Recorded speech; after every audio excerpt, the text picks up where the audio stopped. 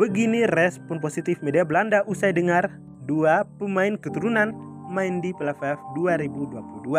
Namun sebelum lanjut mohon klik tombol subscribe-nya dulu agar saya lebih bersemangat untuk mengembangkan channel ini. Kalau sudah, mari kita simak bersama-sama. Proses naturalisasi pemain keturunan Indonesia Sandy Walsh dapat dikatakan hampir rampung. Menariknya situasi tersebut lantas mendapatkan sorotan dari publik Eropa. Sebagai informasi, Sandy Walsh merupakan satu dari tiga pemain keturunan Indonesia yang tengah menjalani proses naturalisasi untuk menjadi warga negara Indonesia. Adapun dua pemain lainnya adalah Jordi Amat dan Saini Patinama. Ketiganya merupakan rekomendasi langsung dari pelatih kepala timnas Indonesia Sintayong. Mereka diproyeksikan untuk menambah kekuatan timnas Indonesia di masa depan. Adapun pemilihan Sandy Walsh bukan tanpa alasan kuat.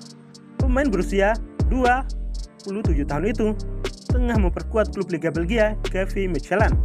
Hal itu membuktikan talentanya di lapangan sangat baik. Kini Sandy Walsh dan Jordi Amat telah memasuki tahap akhir dari proses naturalisasi.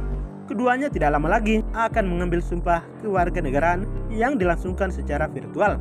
Salah satu media Belanda lantas menyoroti proses naturalisasi Sandi. Mereka berharap para pemain keturunan bisa dimainkan di PLFF 2022 akhir tahun nanti. Sebuah mimpi yang menjadi kenyataan bagi Sandy Walsh. DPR RI secara resmi menyetujui permohonan naturalisasi. Langkah selanjutnya adalah pengambilan sumpah dalam upacara resmi kenegaraan. Tulis pernyataan dari White Balkran Kamis 22 September 2022. Mudah-mudahan dia bisa tampil di PLFF 2022 pada akhir Desember dan melakukan debutnya, sambungnya kemudian. Pecinta sepak bola tanah air bisa bernapas lega karena kedua pemain tinggal mengambil sumpah saja untuk menjadi WNI.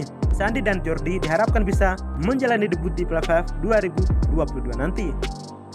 Bagaimana menurut kalian? Terima kasih telah menyaksikan video ini dan jangan lupa pantau video kami yang selanjutnya.